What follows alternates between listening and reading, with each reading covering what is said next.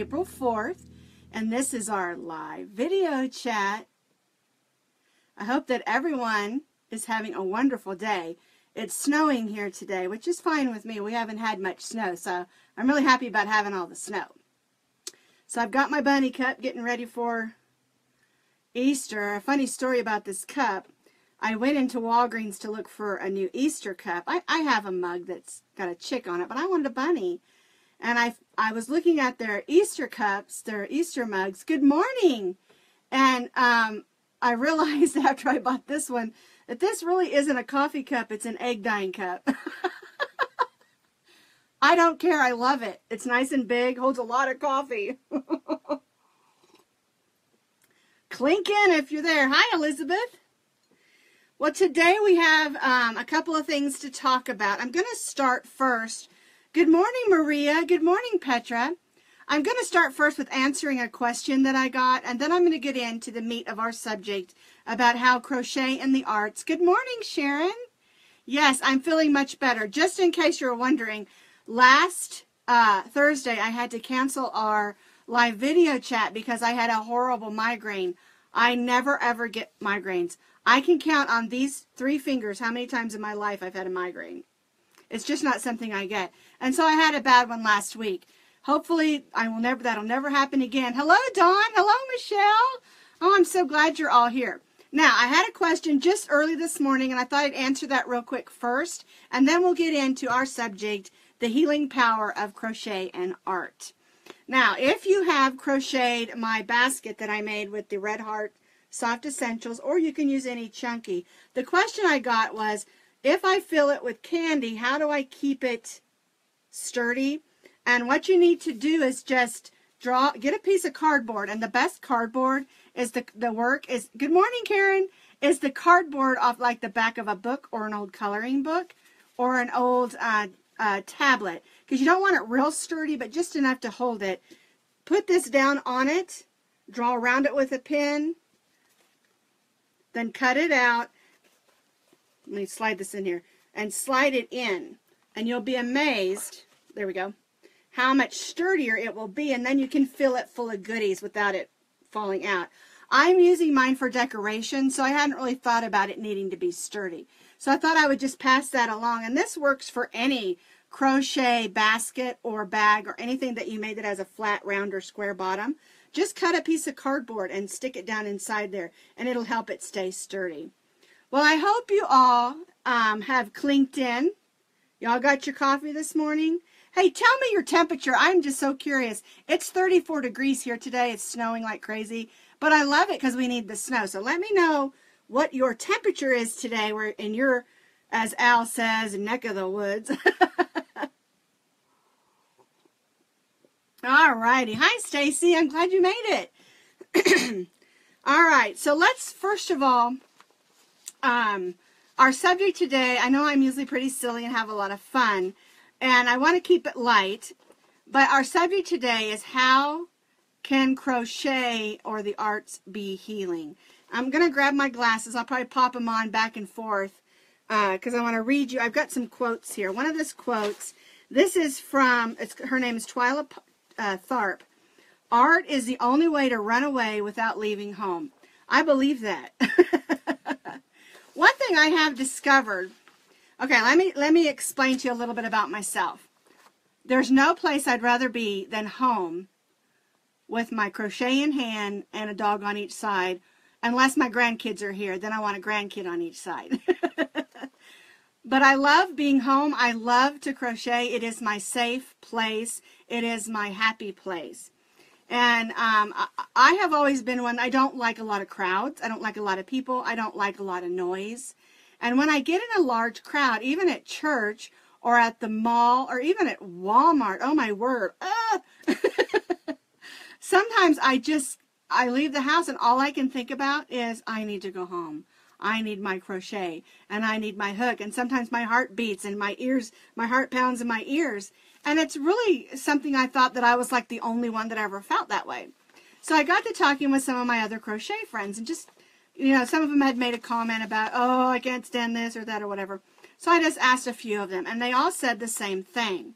and something that you know that they love their crochet space that that is their safe calm you know place to be um, when life has struggles or there's something going on they run to their hooks and yarn and um, and I'm the sa- I'm the same way and um, it's a good thing because you can't eat yarn and yarn has no calories But the truth of the matter is, hello, Trish. I hope I said hello to everybody. I'm so glad to see you all here.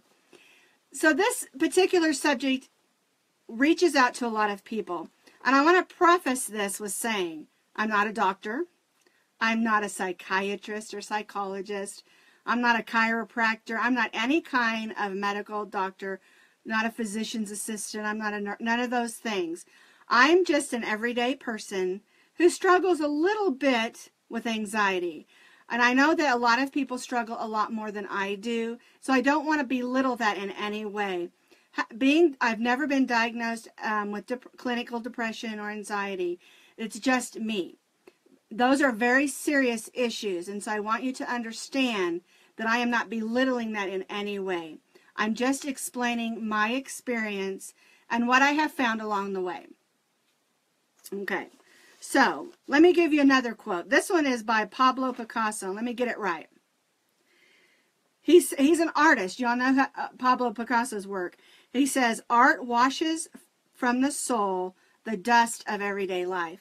And the thing about art and creative people, and it does seem that a lot of people who are artists struggle with self doubt and self, um, just not just self worth and we don't and we don't see ourselves as good enough a lot of times. And i think a lot of times that's because the internet is so hard on us.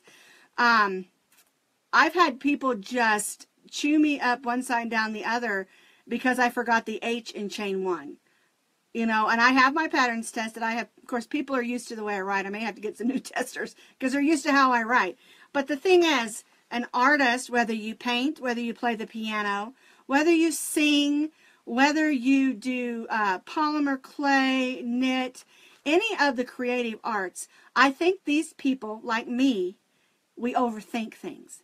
Because we're so creative in our brains, I've, I've always said open up 3,000 browsers on your internet, on your computer, and that's my brain. Because my brain is going in a thousand directions at once.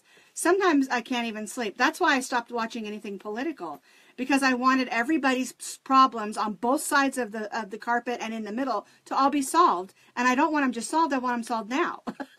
you know, so my brain is always going in 100 miles an hour, and I have trouble going to sleep at night because designs pop into my head, and oh, I could have changed this, or why did I use that stitch?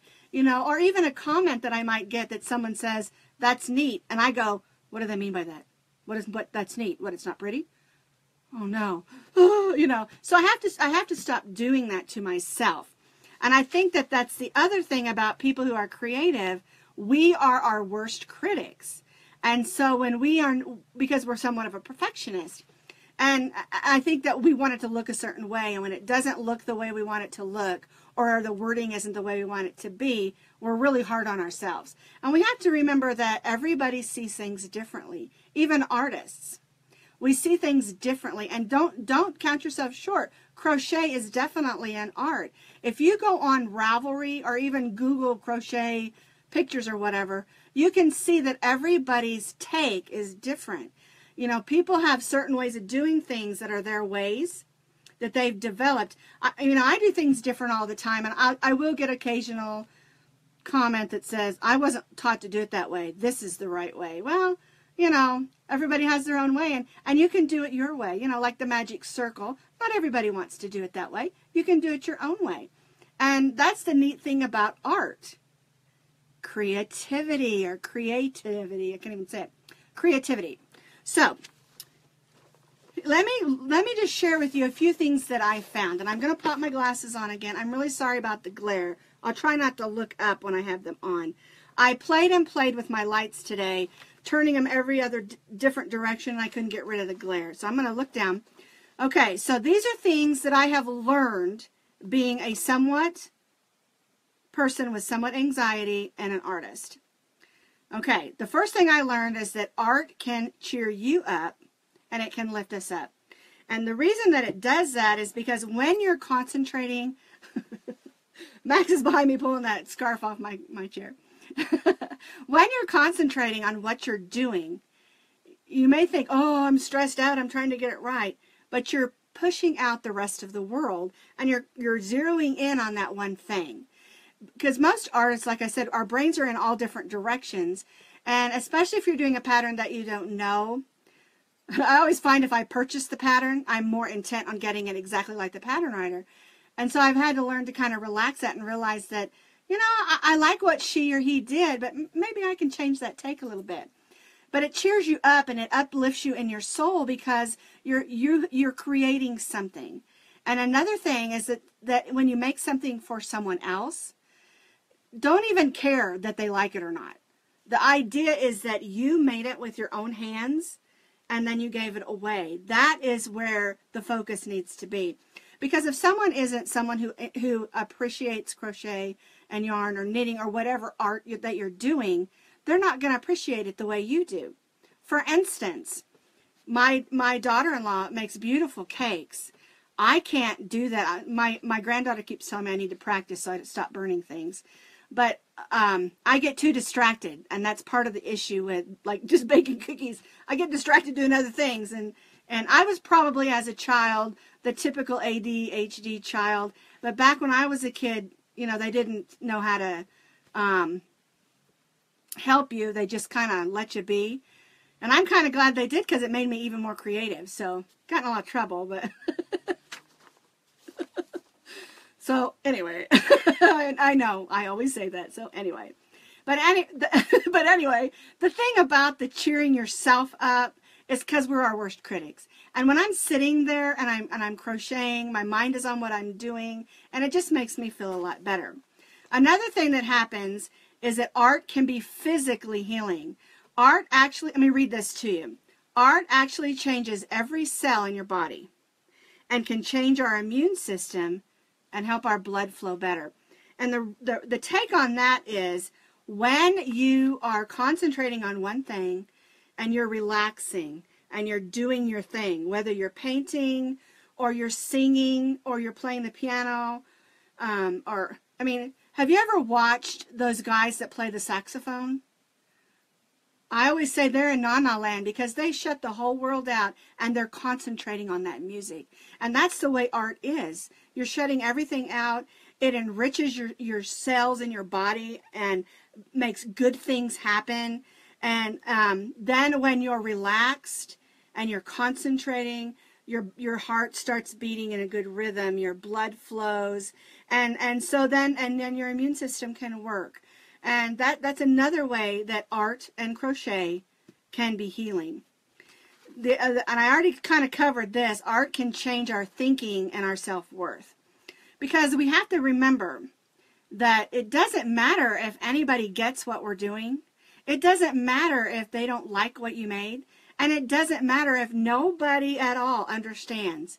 It's kind of like when I first started doing a lot of the um, repurposing art. I didn't get it. I really didn't get making things out of plastic or metal or whatever and repurposing.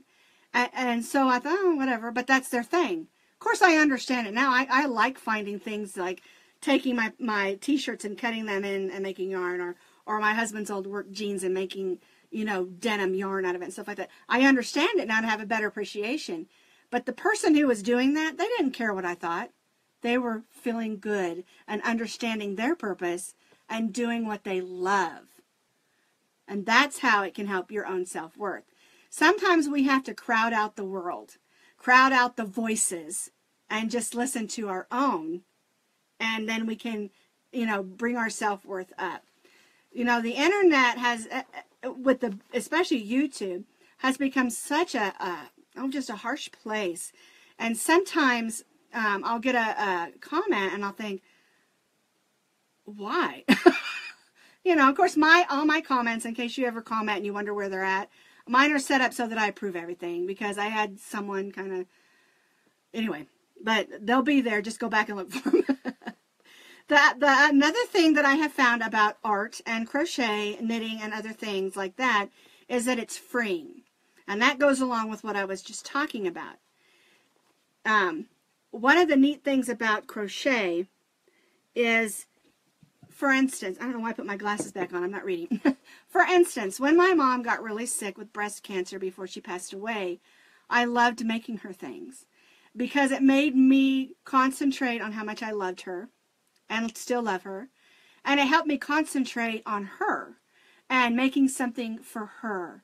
And whether she ever wore the hat or the scarf or whatever blanket I was making her, it didn't matter because I was it was it was a freeing feeling of giving up that burden for a while and just thinking about her.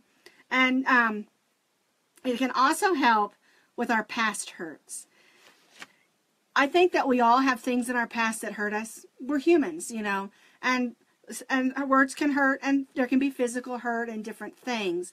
And if we can just release that and put that feeling into what we're doing, you know, you've seen a lot of artists that paint pictures that are freeing to them because of maybe they were raped as a child or or there was a death in the family that was a murder or something that was so intense that they couldn't let go.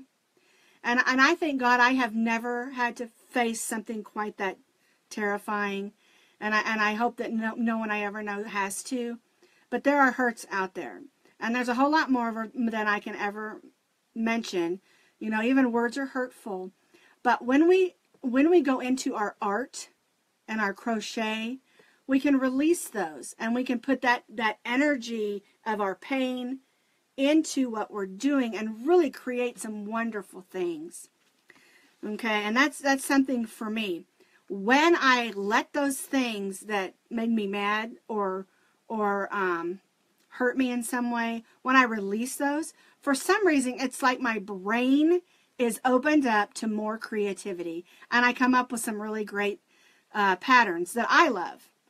You know what? You know some there's some of my patterns. People are like, "What was she thinking?"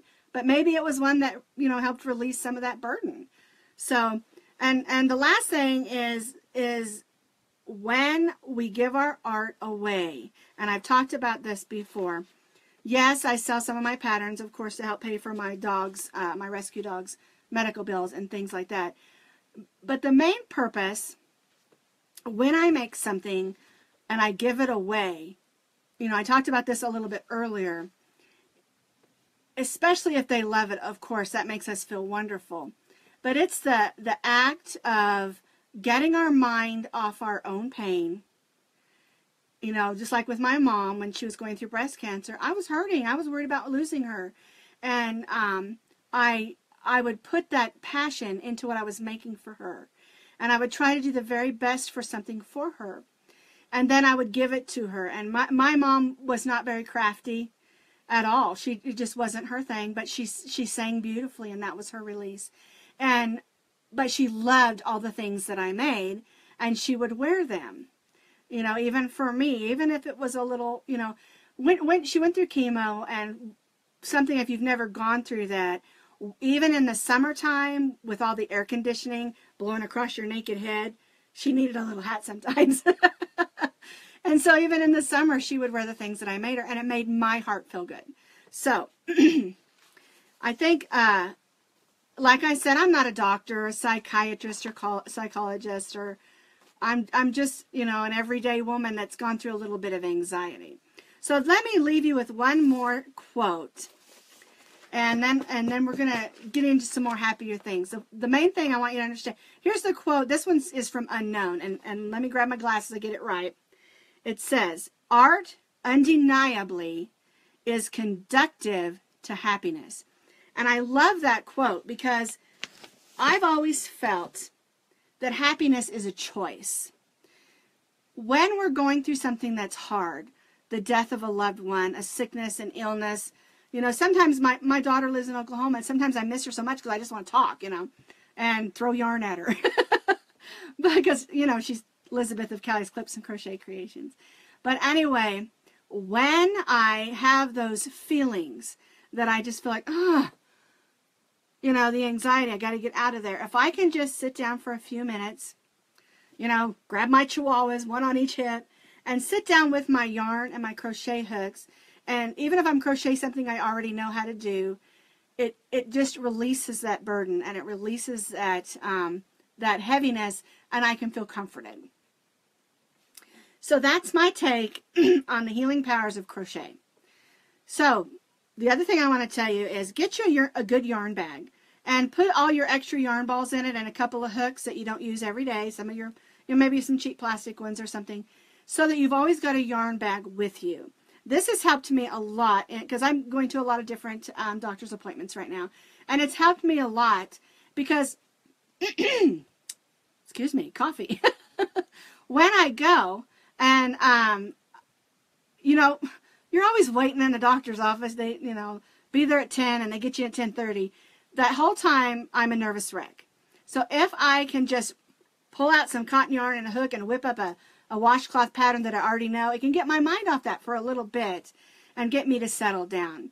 So that's just something that I do that helps me a lot is always have that yarn bag with you.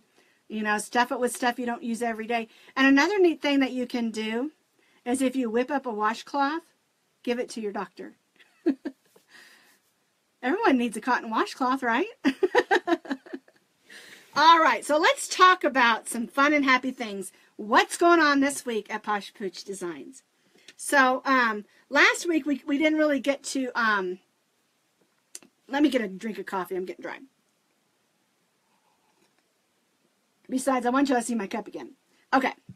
We didn't really get to talk last week because I, we didn't have the video. So I have a, a lot of things. I'm going to try not to take too long. The first thing is we released the diamond, the April diamond 6-inch square. We released the pattern photo uh, tutorial and video yesterday. And we're, like I said before, I don't know if I said it on, but anyway, we're doing a square a month, and the pattern is um, inspired by each month's birthstone. And April's birthstone is the diamond or the clear crystal. Both of them, depending, I always say depending on whether you're at the store or the jewelry store, depends on what it but I really liked it. I did the video with the blue and cream just to make it a little bit easier to see. The other thing we did were the chickies. Chicky, chicky, chicky. You can stuff these or you can leave the bottom open and use them for an egg uh, cozy. And I'm making a bunch of these in some bright colors because I'm going to go to Easter party and I hope I, I'm going to I'm going to tell you I'm making I'm going to do a video on how to make a lavender bath bomb using an egg uh, plastic egg uh, you know that you stuff at Easter time. So, but I'm not going to tell you yet because I want to make sure I do it right. So I'm going to practice a few times. So that'll probably do um, next week or so. The other thing we did this week, or last week, was my, this is my uh, doll, 18 inch doll. They fit the American Girl dolls. Um, spring hat. And I made this for my granddaughter last year in some bright colors. I think it was like a coral. And I had a couple of people ask me if I could do the video. So I went ahead and did the video for the doll. And then hopefully this week we'll get the doll, the hat for the child. This is a child size hat. So you can do the Dolly and me hat and uh, matching hats. And oh, here's the yellow one that I did. And the, the video I'm going to do the, matching like this one. I thought it said a little more summery with that kind of light blue and uh, yellow. And it looks like a daisy. We did that this week. Now, this one we did is the, it's called the Soft Chains Cowl. And it's really neat because you can use any, any type of yarn and any type of crochet hook. And it's just basic chains. Let me show you this up close. it's six chains and then a single crochet. And you're doing that single crochet in the bars of the single crochet, not the top. And you get, it looks like a little knit row and it's really pretty. This one is made with American, uh, American, this one is made with Red Heart Treasures, and I can't remember the exact name, but it's a Red Heart Treasures, which is a worsted weight 4. This one up here is made with the Red Heart Soft Essentials, and it's nice and thick. And then this one is made with the Red Heart uh, Americana that's just worsted weight number 4. So the way you do the pattern is you can make it as long as you want, or as as long as you want, or as thick as you want. And then you just choose whatever yarn you want use the suggested hook off the yarn that you pick. If you do the, the soft essentials, it takes one skein. This is one skein of the Americana, and this is half a skein of the treasures. So, but it's it's a fun fun pattern has tons of possibilities. Um, that's one we did this week. Oh, and then this one is going to be released. Actually, we did this one last week. This one is going to be released this week, and I, this one is so funny because this is the yarn called Lemonade. I think it's called Lemonade Shop or something. Lemon. Well, I've totally forgot. Lemonade, I think, from the Caron Cakes. And in the middle of it, there was a knot. And I, it was one of the first ones that I did. And so I just kept going. I left the string on there so you could see the knot. It's right there. And it switches over to this green color. And then um, it has like a light, light green and goes to this bright yellow. Well, um, I liked that. And it's just, it's a beautiful shawl that you can, it's, I'm calling it spring into summer because the open weave lace. And then you uh, add two big buttons so that you can my hair. Wrap it around you, and if you want to button it, you can or not. It's it's it's real versatile. It's just a beautiful, easy lace shawl. But the funny thing about this yarn is when I went to use another one of the same one, there was no green in it. This is the only one that has this green stripe in here. And I'm thinking uh, maybe somehow two different ones, like one ended and they started the next one or something when they were making it. And so it's really unique because I love I love the gray and yellow. I always have loved the gray and the yellow. But it went from the gray, see how the, the, the little bit of the gray there is short? Usually you have long stripes and it should have gone from this gray, um, I believe this gray to the, it should have gone to this yellow. But there's this big group of green and yellow in it. And then it goes to this grayish and then this this yellow. So it's just kind of fun how that turned out and I just love it. And of course I love yellow. Yellow's my favorite color. So anyway that's what's going on this week at Posh Pooch Designs and again I hope everybody has a wonderful Tuesday and remember this the Bible says that we are fearfully and wonderfully made that means that God made us wonderful and no matter whether we have flaws, of course we do, or um, however shape we're in, we're wonderful. And we all have purpose.